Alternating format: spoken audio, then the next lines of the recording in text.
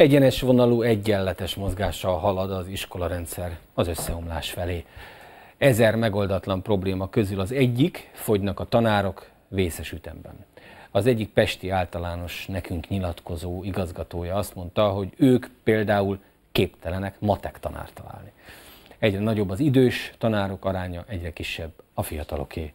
Török Réka riportja matematika tanár álláshirdetése nem jelentkezett senki. Meg kémiára, meg biológiára sem, mert hogy egyre kevesebb a tanár. Aki van, az meg nyugdíjba megy lassan. Szó szerint vadásszák a, a, a kollégákat, és igazából tehetetlenek, hogyha egy kevésbé jó kollega érkezik, igazából nincs kivel pótolni. Pedagógusnak nem igazán jelentkeznek a diákok, és ha jelentkeznek, akkor egy idő után inkább elmennek egy másik szakra.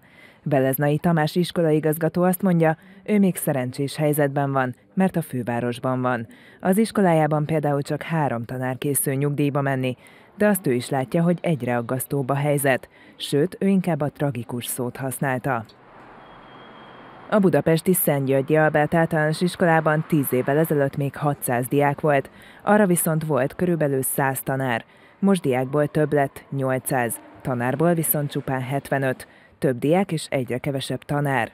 Nagyon sokan elhagyják, mert mert pontosan azért, mert látják, hogy milyen küzdelmes, és mondjuk sokkal könnyebben találnak állást, amihez nem szükséges mondjuk tanári diploma. 2001 és 2013 között egyre több lett az 50 évnél idősebb tanárok aránya, de ezzel párhuzamosan csökkent a 30 évnél fiatalabbak száma.